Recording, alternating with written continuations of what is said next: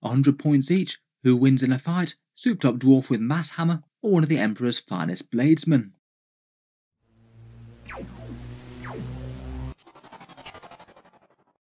Hello and welcome back to Auspex Tactics, where today I thought we'd take a quick look at the Einhyr Champion, one of the biggest, baddest and fightiest leagues of Votann HQ choices, and perhaps looks like the standout melee character in the book, particularly when buffed. On paper, this guy looks thoroughly terrifying, so I thought it might be interesting to take a look over his datasheet, any other ways that we could potentially soup him up and get more damage out of him, one scary build, and then do a quick mock battle versus the Emperor's Champion to see who comes out on top. In the new Leagues of Votann Codex, the Einhyr Champion is an HQ choice, 90 points or 100 if you give him the Great Big Hammer, and is a character model with the accelerated Einhyr and Exo Armor keywords, all of which can be handy for stratagems or relevant for transports. Statline wise, he's got a 5 inch movement, hits on 2s, strength and toughness 5, a big 5 wounds, 4 attacks, leadership 9 and a 2 plus save, protected by void armor, basically armor of contempt. Pretty meaty as a base stat line, and that's further reinforced by a minus 1 damage from exo armor, and also a minus 1 to wound in melee with a ram shield that he has, and it all adds up to him just being particularly hard to remove in combat. Very, very tanky for the points, and it seems like he's pretty dangerous as well, particularly with buffs. The champion gets the choice of crests, either you get a Weavefield crest for an extra wound to 6 wounds and a 4 plus invul, it probably seems like the better one, but you do have the option of the teleport crest as well, that one lets you deep strike and also teleport across the battlefield as well. It'll be 1 CP to do that, but the charge will be kind of unreliable, so I feel like just going for raw might and toughness is probably best. Weapons wise, they're both pretty scary. His hammer costs 10 points and is perhaps the standout one. Strength times 2, so strength 10, AP minus 3, and a huge damage D3 plus 3. It is minus 1 to hit, but even so, any hits that you sneak through are going to cause some crazy damage, and there is a cool relic version of it. The other option is the Dark Star Axe, strength 6, AP minus 3, and damage 1, but it doubles the attacks, and you can't use any ignore wounds rolls rules, so ignores things like feel no pain, or any hard damage caps like say Abaddon or C'tan. Otherwise, it's got mass driver accelerators, an impact mortal wound attack, where when you charge into the enemy, you roll 1d6. If you equal or beat the enemy's toughness, then they suffer d3 mortal wounds, a nice little sting in the tail when he charges. It's got a little bit of shooting with an Autoch combi bolter at 4 shots at strength 4 AP minus 1 with a 24 inch range. Might splash an infantry or two, but not that big. And he does actually have a buff ability as well, re-rolling ones to wound for Hearthguard units nearby. That doesn't apply to him though. In general, this guy's just made to smash and be a frontline combat character. Maybe not super super tough against shooting for the cost, but really quite hard to remove in melee, so hopefully you'd want to have him spring out and get the jump on the enemy. Damage output wise, the Mass Hammer will average you 2.3 hits if you aren't buffed, though there's plenty of interesting ways for buffs. It's going to be pretty weak against infantry, two dead guardsmen, or maybe just one or two dead space marines, though it doesn't really care whether they're Gravis ones or standard with that massive damage and strength profile. Just on their raw stats, it's around about 7 wounds to a toughness 7 or 8 vehicle. Really, he wants to be engaging heavy hitters if he can. The Dark Star Axe is far more anti infantry orientated, around 7 hits at strength 6 and AP minus 3, around 5 or 6 dead guardsmen, again 1 or 2 dead space marines, but much worse against Gravis marines or vehicles. I think probably the hammer is worth the upgrade, as it can just break things that are incredibly valuable. In terms of getting more out of him, judgment tokens do seem to be the order of the day for the new Votann Codex. Auto wounds is great, maybe more so on the axe than the hammer with its massive strength, but it's still pretty important to bypass things like transhuman physiology. He could get rerolls to hit from the Kâhl, and the Grimnyr could give him plus one toughness and a feel no pain, plus also strip enemy invuls, which is perhaps a bit more realistic. I think for the durability buff from the Grimnyr, that might be better off on something else, maybe like the Hearthguard. For buffs and synergies, he's got access to some Warlord traits and a fair few relics. Perhaps the most relevant Warlord trait is reroll wounds in melee, and his attacks ignore feel no pain or damage caps. That seems like that would work pretty nicely on the big hammer, to be honest. Gets you the best of both worlds and could be a massively credible threat to someone like Abaddon the Despoiler. Then there's a whole bunch of handy relics. There's a fight's last option, a very very scary mass hammer where sixes to hit trade their damage for d3 plus 3 mortal wounds. That one could make it genuinely efficient against infantry if you roll well.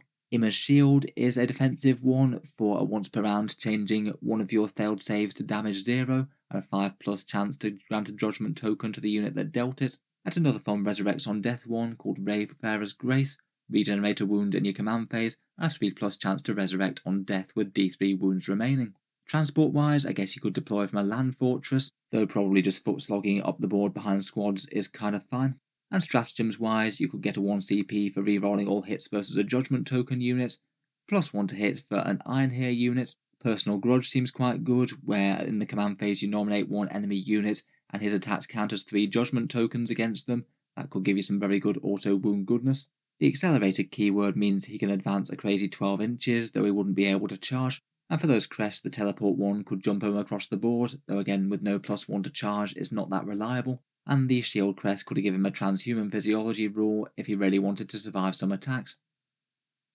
For the leagues, I think a few of them are standout. Greater Thurian League's reroll one hit or wound roll is great with that hammer, plus they have quite a good defensive relic for him, worsening incident AP by an extra minus 1. That means that even AP minus 3 attacks would still be saved on a 3 plus with the good armor. The Urani-Surtr Regulates gives you plus 1 toughness, there's a warlord trait for a 5 plus feel no pain which is quite nice, and a one command point fights and death stratagem, really not giving you much incentive to remove in combat.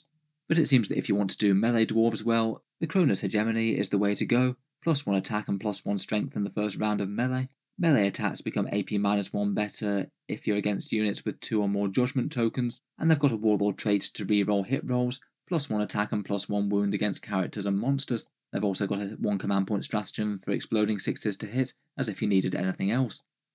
Putting that together, just one idea for a scary build could be a Kronus one with the Warlord trait against attacking a 2 Judgment token unit, and then equipped with that Relic Mass Hammer which converts his damage to mortal wounds on 6s to hit. The Kronus trait would allow you to re-roll hits with 5 attacks at strength 11, AP minus 4 and damage d3 plus 3, fish for those 6s to get d3 plus 3 mortal wounds, and any 5s that you happen to get incidentally also will auto wound.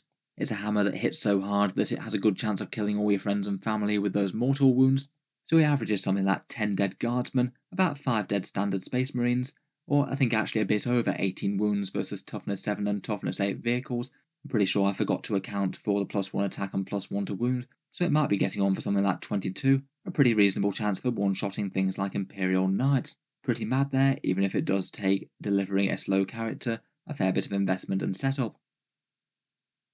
Finally, I thought we'd dispense with all the upgrades and things and just put a base Einhyr champion against the Emperor's champion, a pretty worthy opponent from the Black Templars, maybe not the single strongest combatant out there in 40k, but seeing as he's 100 points and the Einhyr champion's also 100, plus he's got some fairly decent character killing rules, he could be a good matchup. He's got a 2 plus save and a 4 plus invul, 5 wounds and attacks and 6 with shock assault, and some big attacks with 6 attacks at strength 8, AP minus 4 and damage 3, Rerolling all hits and wounds against characters seems like a fairly reasonable equivalent in the Space Marine Codex. Just for our slightly abstract hypothetical battle, they'll both get to shoot and both counters charging for their attacks, and we'll see how much damage they do relative to their opponent's wounds. The Einhyr's champion, Combi Bolter, does 0.5 wounds to the Emperor's champion on average, then his mass accelerator does around about 0.6 mortal wounds on average. That's lessened due to the Black Templars save against mortal wounds. Then the mass hammer comes into bat, swings with a big 4 attacks. On average, you're only getting around about one failed save through, but still enough to, on average, kill the Emperor's champion. 5.5 wounds there, giving you a big total of 6.6 wounds out of 5, or 133% damage.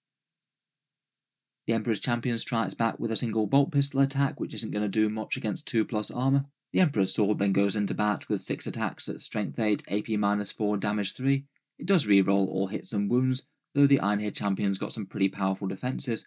A 4 plus invul, minus 1 damage and minus 1 to wound gets you around about 4.7 wounds total. With the shield crest, the Einhyr champion's got 6 wounds, so it only adds up to 80% damage. It does seem that even unbuffed and without judgment tokens, the Einhyr champion does seem to be the superior combatant versus the Emperor's champion. It's a victory for our new Space Dwarf overlords, it seems, though I can imagine that this isn't the sort of comparison that Space Marine players are really going to like to hear. So let me know what you think of the champion model, what do you make of his potentially crazy damage output, and do you think it might even be worth running multiple of these in a Leagues of Votann list? Stay tuned for a full codex review, that should hopefully be dropping next. Really looking forward to digging through the Leagues of Votann codex in full. Feel free to subscribe to Auspex Tactics if you'd like to see that. Finally, if you've been enjoying all the videos on the channel and would like to help keep them coming, I would just like to mention that Auspex Tactics does have a Patreon page, and you can find that linked down in the video description below. The channel's Patreon is what allows me to keep these videos coming quite so regularly, so if you are enjoying any support is massively appreciated. Channel patrons do get a fair few advantages, seeing certain videos early, regular votes to see what sort of things come next on the channel, and automatic entry into the regular prize giveaways with a chance to win some big model kits each month. If any of that sounds good to you or you'd just like to help support, the link is down in the video description. In any case, a massive thank you for listening, and I'll hope to see you guys next time.